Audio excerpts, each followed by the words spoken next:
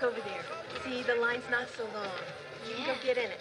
Now take Andy's hands and hold on to him, and we'll see you later, okay? Yeah, yeah, stay together. Don't, don't get lost. Okay. Boy, Billy. And what do you want? Come. Let's go. Young man. Hey, kid. Just where do you think you're going? Going up to see Santa. The line ends here. It begins there.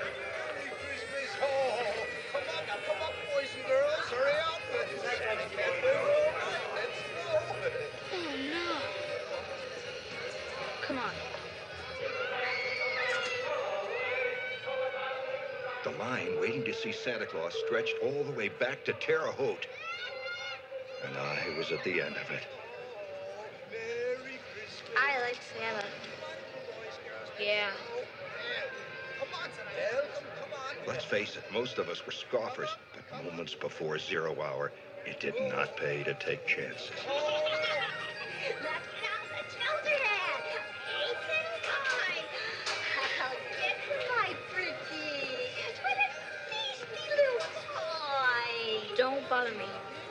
I'm, uh, I'm thinking. I like the Wizard of Oz. Yeah. I like the Tin If Higbee thinks I'm working one minute past nine, he can kiss my foot. Come on up on Santa's lap. Here's a wet one. and what's your name, boy? Come on, Randy. And what do you want for Christmas, Billy? A toy truck. Get him off my lap. Who's wet? He can't talk. Bye, Billy. Ho, ho, ho.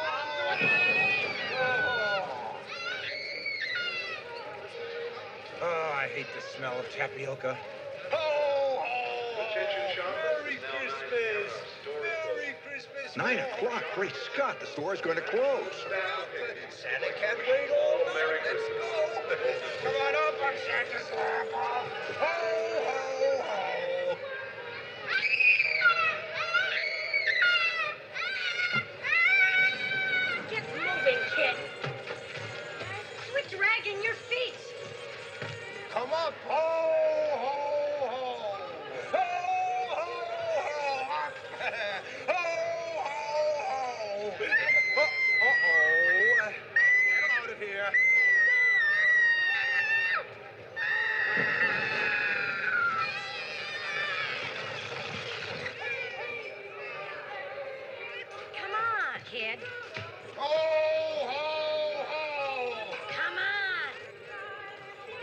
Come on up, come on up.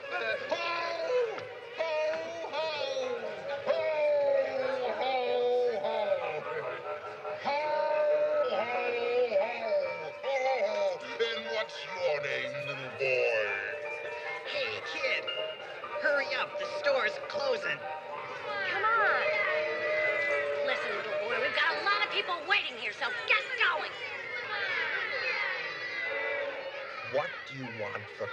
little boy? My mind had gone blank. Frantically, I tried to remember what it was I wanted. I was blowing it, blowing it. Come on, kid. How about a nice uh, football? Football, football. What's a football? With unconscious will, my voice squeaked out, Football. Okay, get him out of here. A football? Oh no! What was I doing? Wake up, stupid! Wake up! No,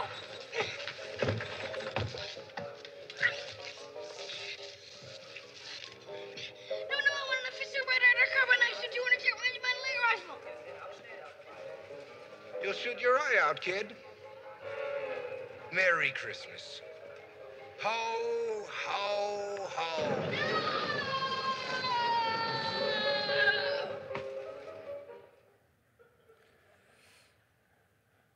Well, good morning, Impact. I have a confession to make. That was my, as a kid, my all time favorite Christmas movie. It was not a Christmas unless little Billy watched A Christmas Story.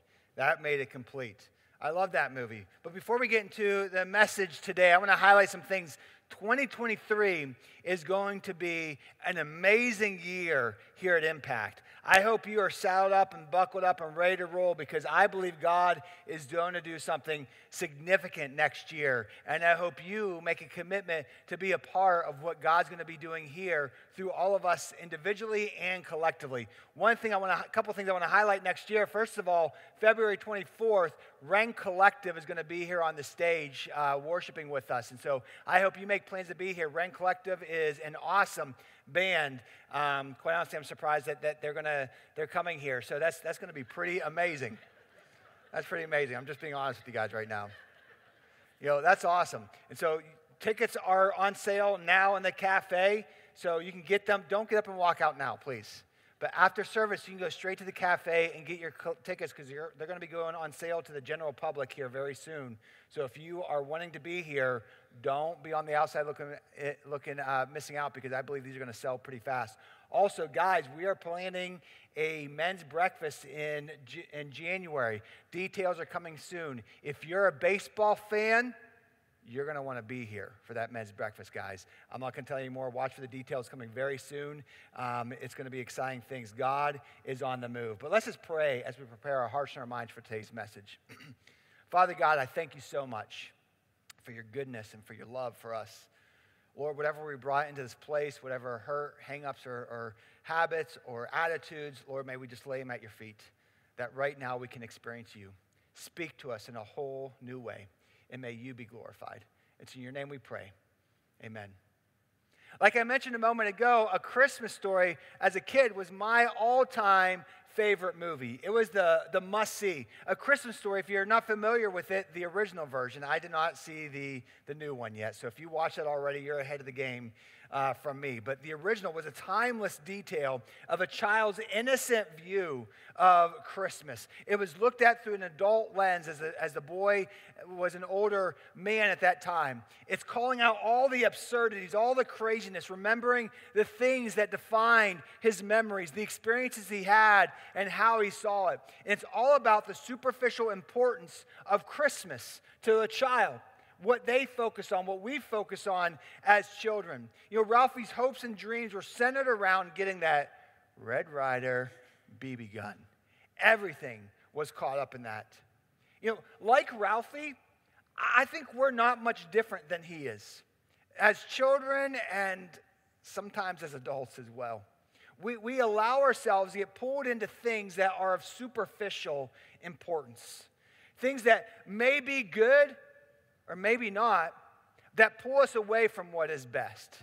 And we miss out on what matters most. And for all of us, we're in this constant wrestling match of what is a need and what is a want. And so often it, it, through our lives, we wrestle with, just like Ralphie, we create things that quite honestly are wants, but we fabricated superficially in our mind and redeveloped it and repackaged it into a need. And there's so many things in our lives that have become needs in our mindset that are really just wants. And many times we allow things that may be good or maybe not pull us away from what is best. And we miss the bigger picture. You know, one of the most the most popular stories in the Bible of the Christmas time is the story of the wise men, the Magi. You know, in their story, they were being pulled into one of the greatest stories ever known. But like us, in so many ways, the people in Jerusalem at that time were so busy and caught up in their day to days that they missed the novelty of the moment. They missed the reality of the manger of the child. And here were these wise men, these astrologers, these guys who were constantly looking at the universe to see the story it was telling. Because the Bible tells us that all things that are created works together and highlights what we do not see, the mysteries and the wonders of God at work. And these guys who were not of Jewish descent were getting caught up in something big is happening they were seeing the power of the moment when everybody surrounding them were quite honestly missing it. They were missing it. They were missing what was the most important thing for other things that they deemed were even more important. You know, the story starts like this in Matthew chapter 2. After Jesus was born in Bethlehem in Judea during the time of King Herod, Magi from the east came to Jerusalem and asked, Where is the one who has been born king of the Jews? We saw his star when it rose and have come to worship him. When King Herod heard this, he was disturbed, and all Jerusalem was, was disturbed with him.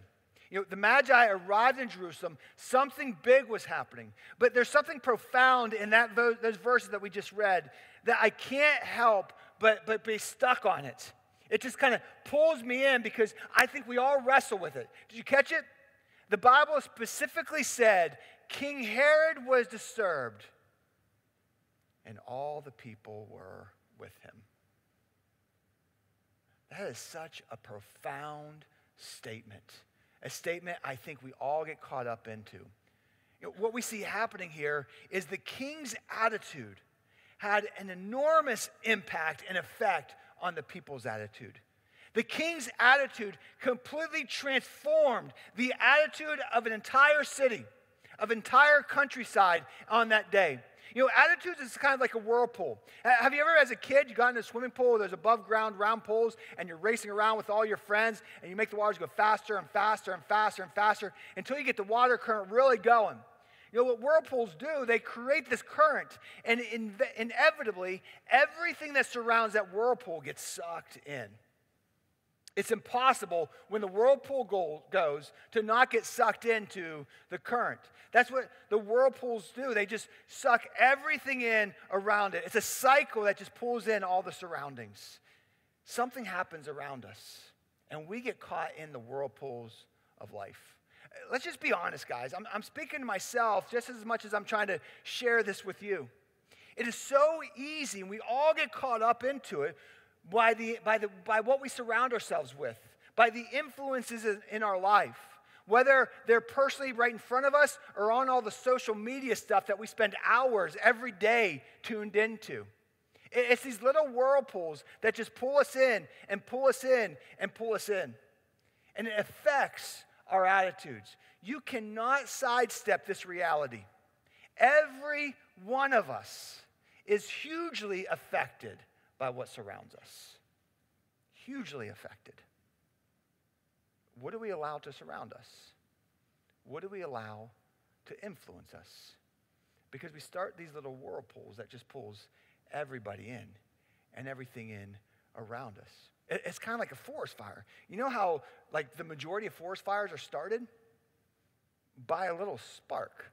Maybe someone flicked a cigarette butt over here, or something else just kind of threw a spark over there. And this one little spark created this forest fire that destroyed the whole forest. It's all it took. And so many things in our lives are absolutely affected because of the spark of our attitude. And all that begins by the whirlpool we allow ourselves to get into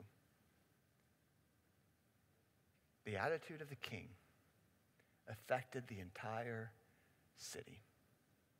Everyone got pulled in. That's profound to me. Don't miss this, guys. Our attitudes has a big impact on the people we encounter. Your attitude has a significant impact on every person that you come into contact with. And it creates this domino effect. It's, it's this whirlpool that we all get caught up into. And let's not, let's not dilute this. Let's not sidestep this. We're all caught up in the whirlpool. We all get affected by it. You know, we all see it, don't we?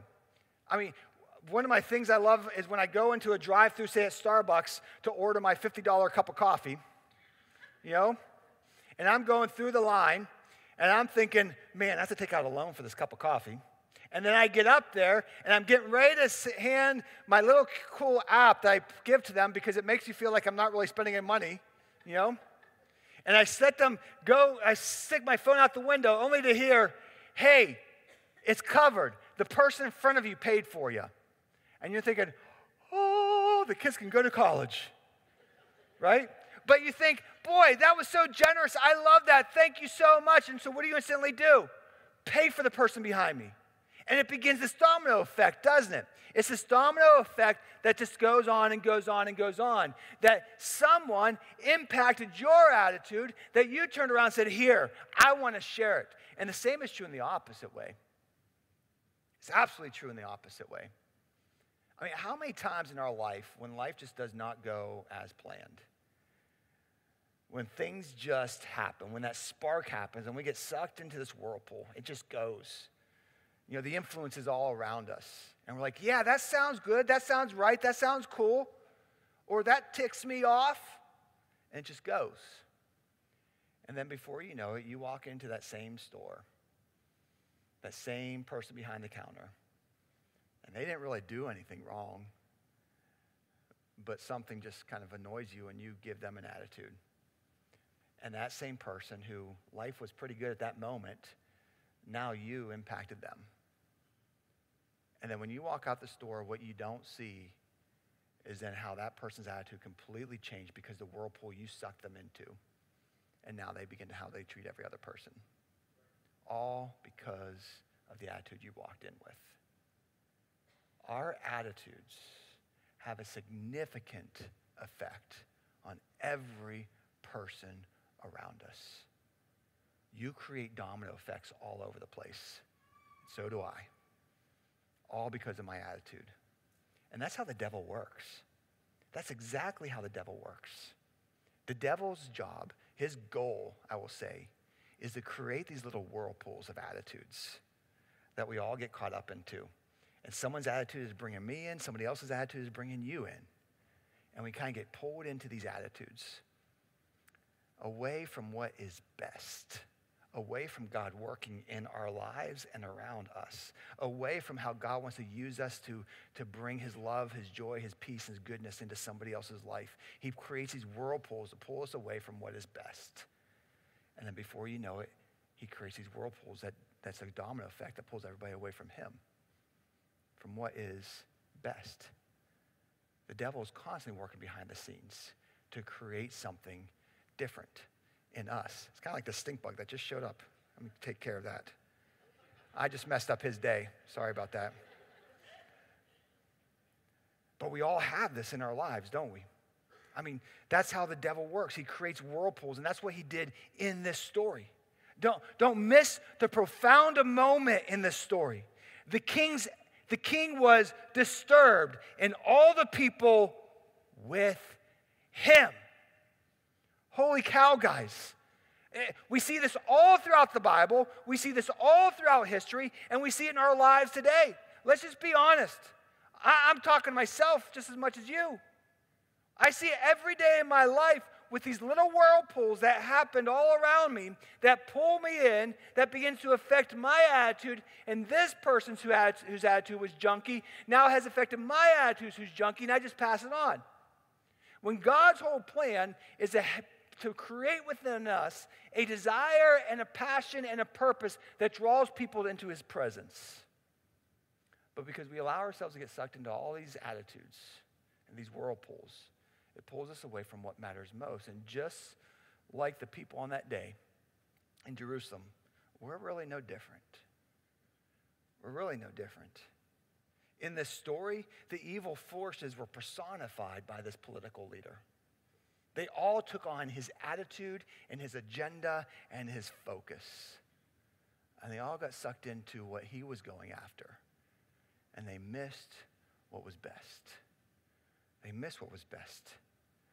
Here we see this, this, this kind of avalanche starting. This group of people, this city of people who were set against God's chosen one because they were focusing on their own agendas instead of Him. It's natural for all of us within our own hearts to become so self absorbed. Guys, can I just be real? Because I'm speaking to myself too. So don't, don't be throwing rocks at me or Cole, right? But we live in a world that is so me focused, so self absorbed. And guess what? I'm guilty too. I'm guilty too. I get so self absorbed, so self centered, so me focused. And guess what that does? It affects my attitude.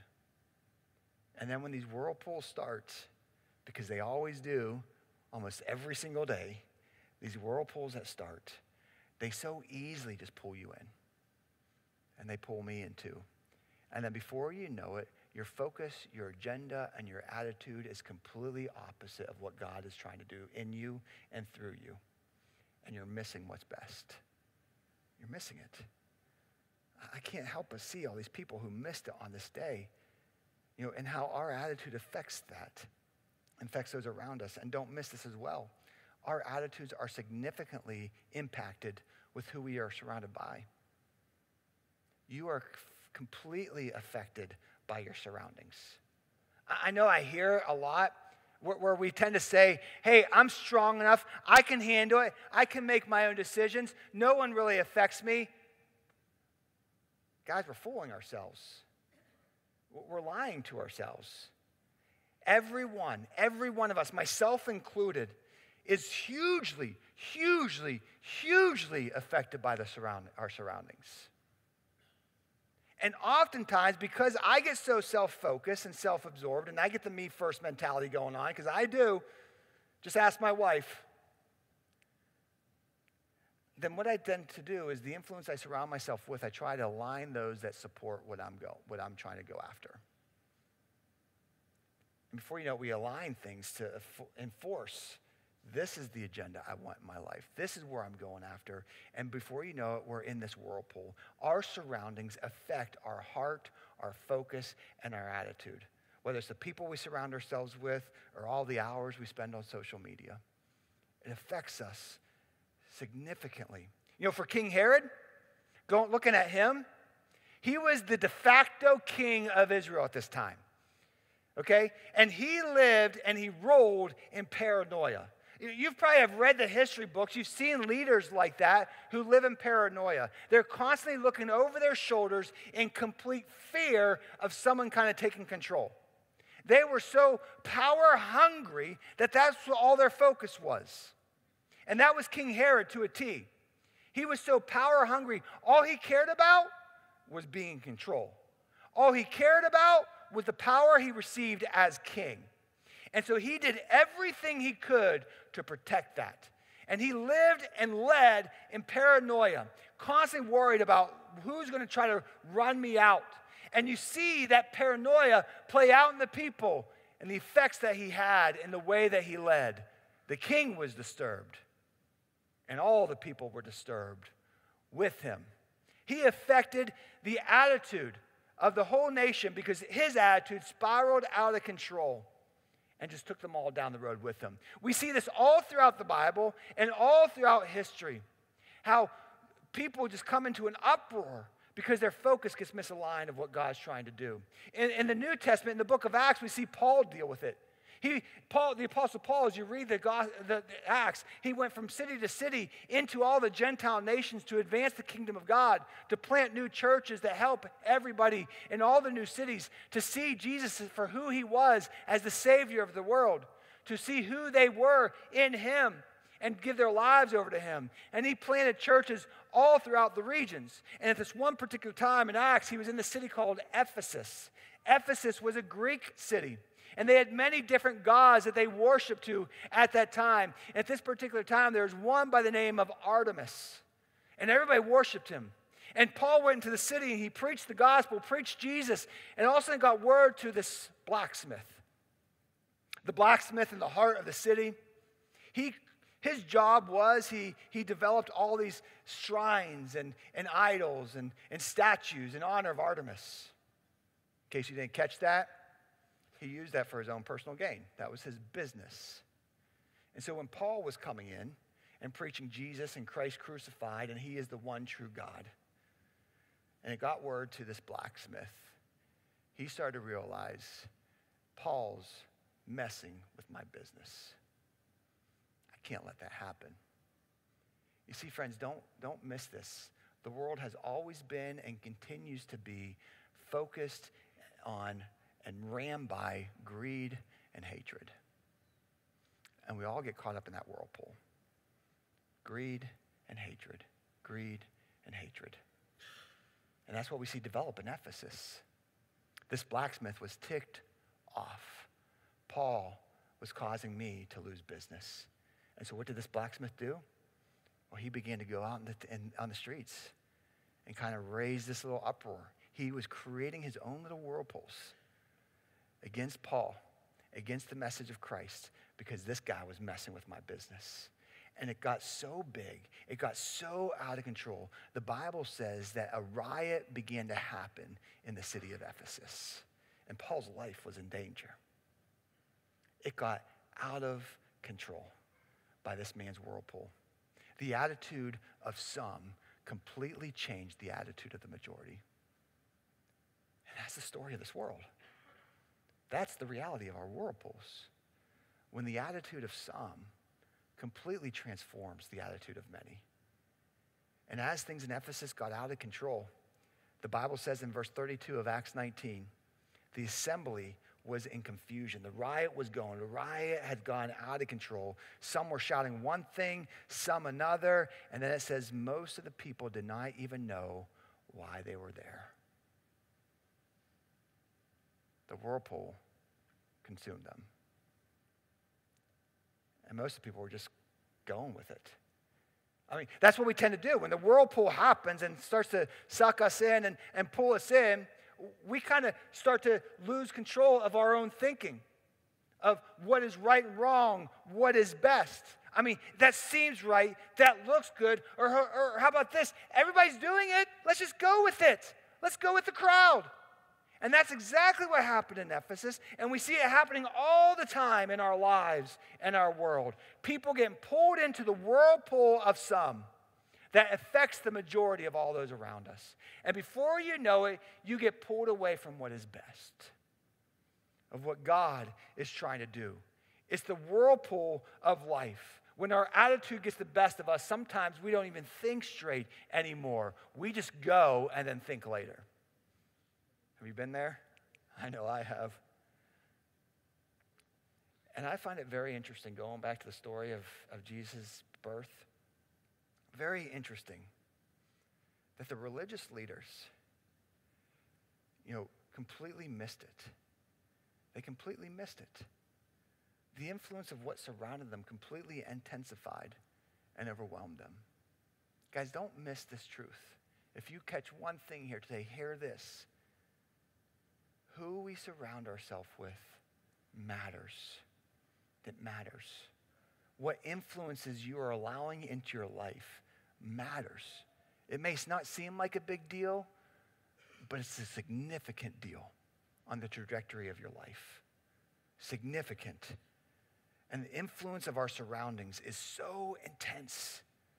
It created this riot in Ephesus.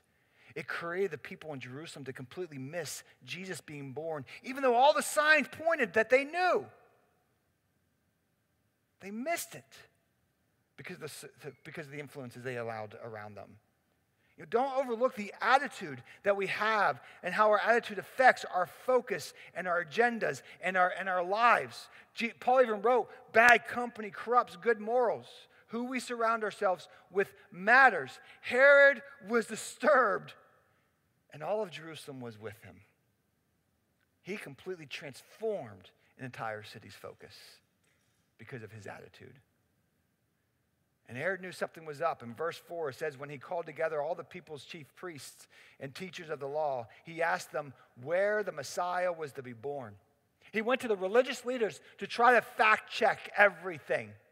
Hey, is this right? I, I, mean, what's being said here? Because I, I got word that, that there's this child that was born that, that could be a king. Like, like, what's going on here? And the religious leaders all pointed and said, Yes, this is what the prophecy said. There will be the star, it will be in Jerusalem.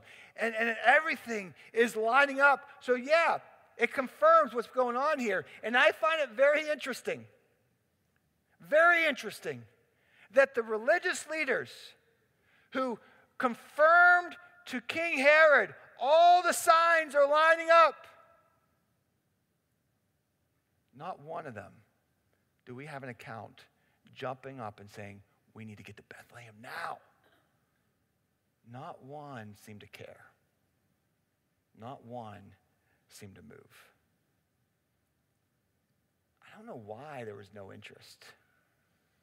I don't know why these people who study this waited for this their whole lives, and now all the signs pointed to it, and they didn't do nothing. I don't get it. I don't. I don't know if they were downplaying the Messiah. I don't know if they had too much on their schedule. It's like, we're just too busy. It's not the right time. We'll go next week. You know, I got stuff to do today. I don't think if, if, if they, I don't know if they just didn't think it was that important. I, I don't know if their attitude was that bad that they were so focused on something different rather than the Messiah. I don't know if the political influence of King Herod had that significant effect. I was like, you know what? We're staying here. I don't know. I don't know. All I know is this one thing they saw the signs, they knew the signs, but they stayed. They stayed. Something happened that created a barrier in their life from things that they were more focused on, things that they deemed as good, and they were missing what was best. They missed it. What's that for you? What barriers have you developed in your life that causes you to miss the best thing? We all have that. We all have that. Barriers that causes us to miss Jesus. You know, when I was a kid in, in elementary, my favorite game to play was called Jump the Brook. I've asked several people this morning if they've ever heard the game, and everybody looks at me like I have three eyes. So I, maybe it was my, only my school that, that knew how that, that played this game because my, my, I went to the best school in the world. So there's no, I mean, no diss on you guys. But we play this game called Jump the Brook. I have Genesis Straley is somewhere here. She's going to come out and help me with that. There, let's give Jen a good hand of, good round of applause. So this game's pretty simple, and I hope, Jen, that you know you show us a little bit better abilities than the abilities that your dad tends to have. Okay, because we know you're. I've seen your dad play like basketball and stuff. It's not pretty. All right. So here's how the game played. So we would set up little like ropes or something along the floor, and everybody would get in line. This is when all the young boys start pushing each other and egging each other on and saying, I can jump further than you. It's like a long jump game, right? So we would just simply jump the brook, right? But then as we jumped the brook, every round got bigger. And so we would move this further out to try to, to jump the brook. Do you have that ability, Jen? Come on, make your family proud. There we go. All right. And then, so they would jump the brook there. Yeah. Is that? I think, I think we're going to call Ringling Brothers and get her hooked up for, the, for a show. But as the game on, she, she's running away because she knows how big this gets. Okay, you can go. But as this went on, we would just completely, continually jump the brook and make it further. And every round, it got further and further and further. Before you know it, we would have to be lining up like run like 20 yards to get enough speed to jump in. We're like wiping out and doing crazy things just to get across this brook. It got so wide until the last person was standing. In a spiritual sense, I think this is kind of like how we live our lives. You know, we start with things that seem good or kind of take our focus away. They, they don't seem like that big of a deal, right? I can still get over here to Jesus. I can still get over there.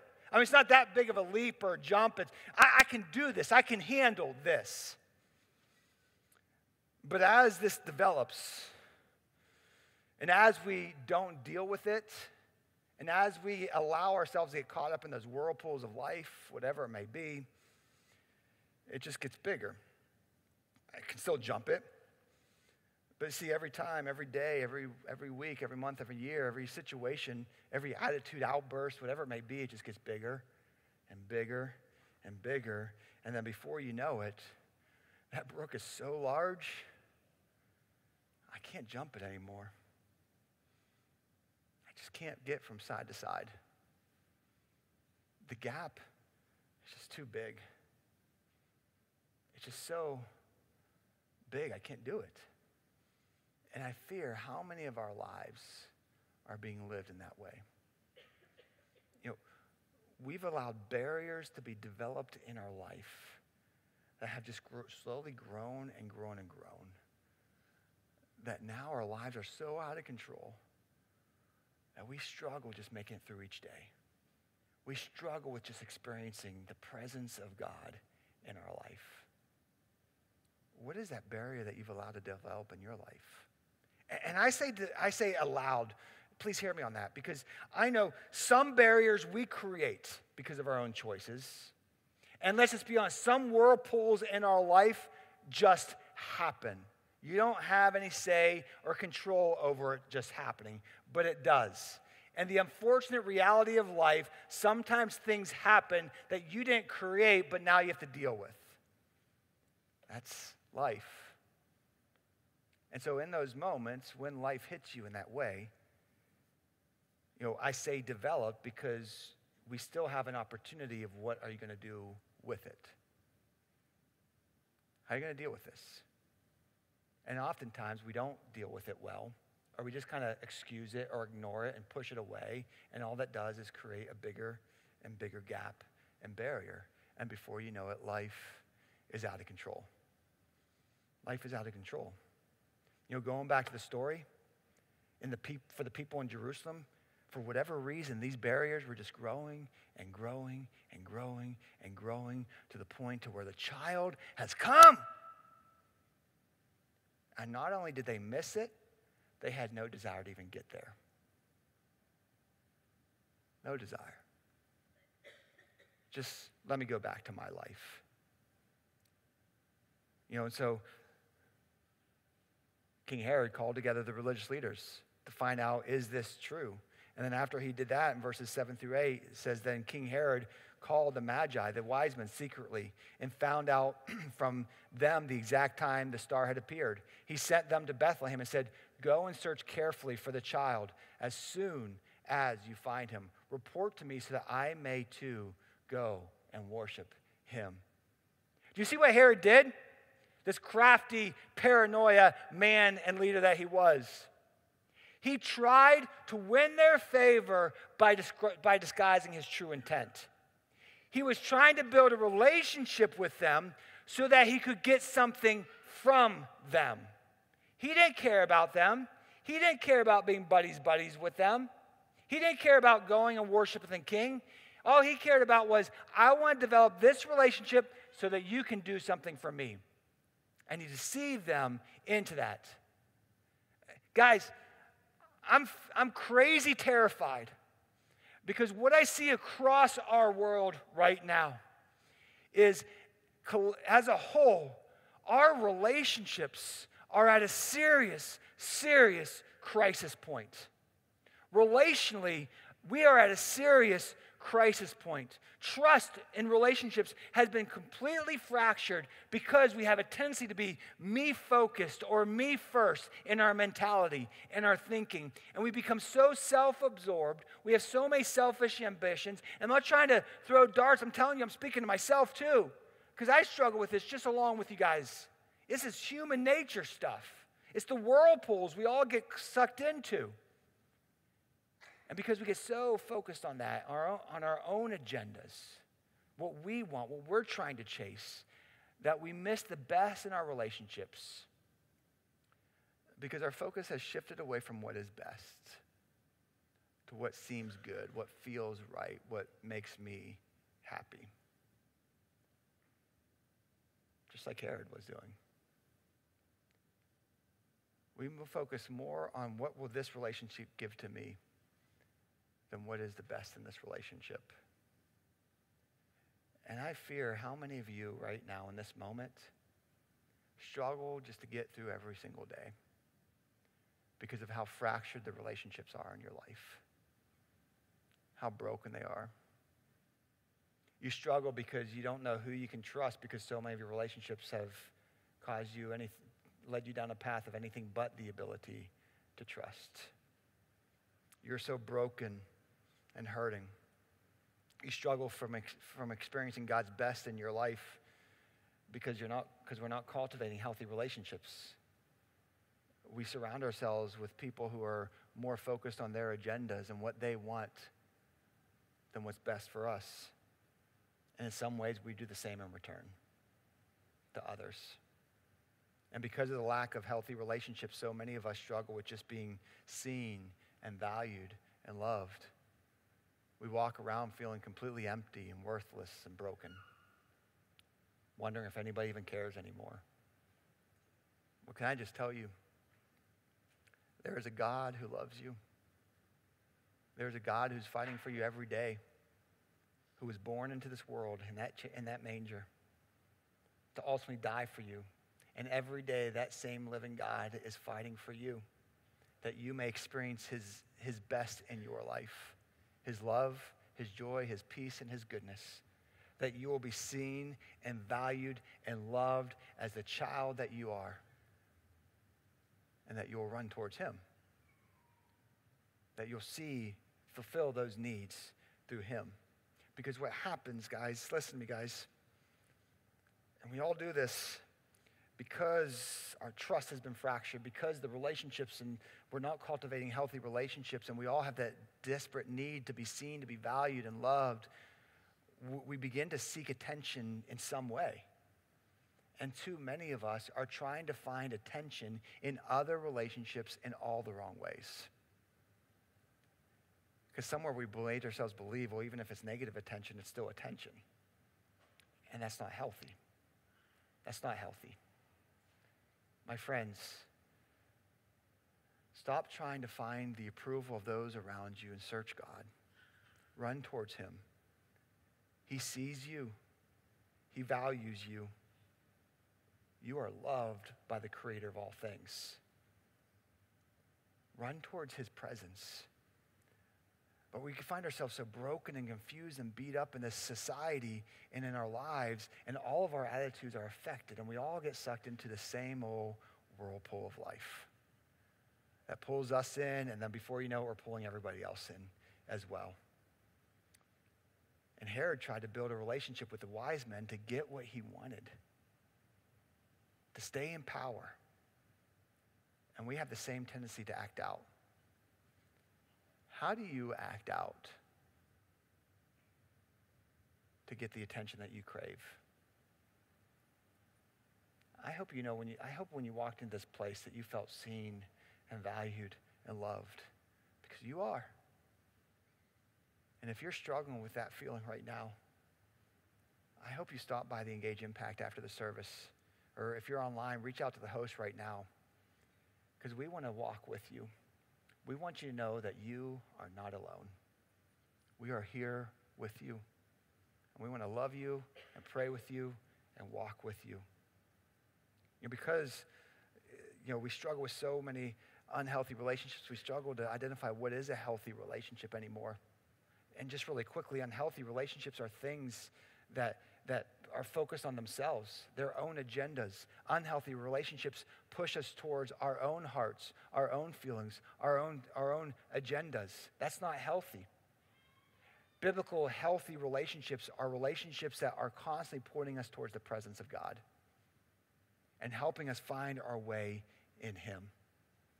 My friends, we need to cultivate relationships that guide us to His presence to experience Him more. That's why here at Impact, we value growth groups. Growth groups are so important. If you're not in a group, you need to get into a group because it's in that group where you can cultivate those healthy uh, relationships.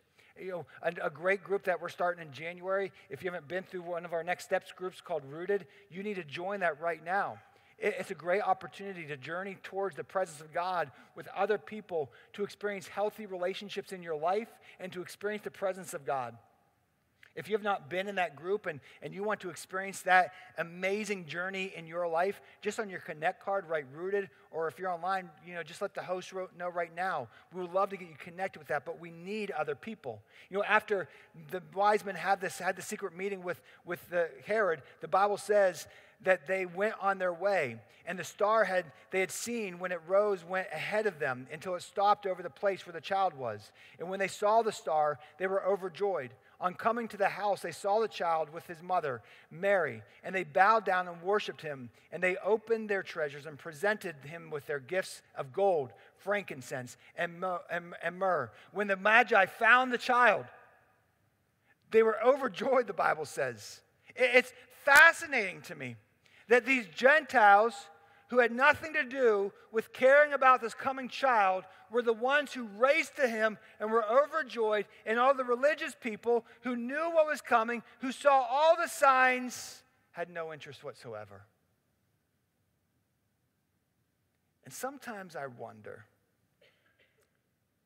I feel that we tend to develop expectations of what we think God should be doing in our lives, of how He should be operating, of how He should be coming to us. That in many ways we've lost the anticipation of Him. In this story, it appears the religious leaders and all the religious folk lost the anticipation that the Messiah was coming. You know, the Bible says he's coming back. And in some ways, I fear that we have lost the, antici- the anticipation of his return, the anticipation of the coming Messiah. The Magi were excited. They came to the house where Mary and the child were. And please note, I know our nativity scenes always has them right there when he was born, but that is not reality. You know, when the Magi came, it was months after the baby was born. The Bible says that they came to the house where they were at. They were already in, at home, living and dwelling, and she was taking care of the baby when they got there. And they saw something about this baby. They bowed and worshiped him. Something was different. They gave him these gifts of gold, the status, a gift of a king. They gave him frankincense, the gift, a sign of divinity. And they gave him myrrh, the gift and the sign of a sacrificial death. They saw something in this baby. Something big was about to happen. And then in verse 12, having been warned of a dream, the Magi did not go back to Herod. They returned to their country by another route. At this moment, this was the moment that they realized Herod was deceiving them. This was the moment they realized Herod did not have our best interest in heart. This is the moment when they realized whatever Herod might be giving them to go and do this task, it may be good. Maybe it seemed like this could transform our lives. I mean, we can live well. I don't know what he was offering them. But this is the moment they realize no, it's, I don't care what he's giving us. I just saw what was best. I just saw the child. I saw the baby. You know, in the movie A Christmas Story, Ralphie convinced himself that he would not be happy. He convinced himself that Christmas would not be fulfilled. It would not be a good Christmas until he got the gift the Red Ryder BB gun. And if he did not get that gift, he would not be happy. He would not have been satisfied. So often, I think, friends, we miss what is best for what seems good in the moment. The wise men were challenged with that, with whatever King Herod was offering them, to miss what was best for what appeared to be good in the moment. Ralphie missed that. He was focused on what seemed to be good in the moment he missed what was best.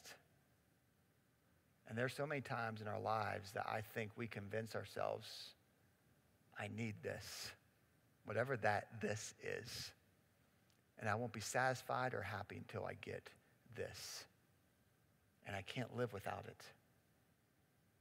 And we convince ourselves in such a way that we miss what is best. And we get caught up in these whirlpools. It's time to break free from the whirlpools, friends. What are those barriers we developed in our lives? What have we, how have we convinced ourselves of things that we think we need as pulling us away from the presence of God? Let's run towards Him. Will you pray with me? Father God, I thank you because of your goodness and your love. Lord, in this moment, may we just run towards you. Help us to see you and to experience you, Father, fully. Lord, right now, in so many ways, you know, I just confess for myself, and may we all confess together there are things in our lives that we've convinced ourselves that we need that pull us away from you. Lord, we've been so many, in so many ways, in different ways, we've been caught up in whirlpools that transform our attitudes, and then in turn, we create other whirlpools for other people to be affected by. But Lord God, may we create environments all around us that draw people towards you. Help us to experience you in a whole new way. It's in your name we pray. Amen.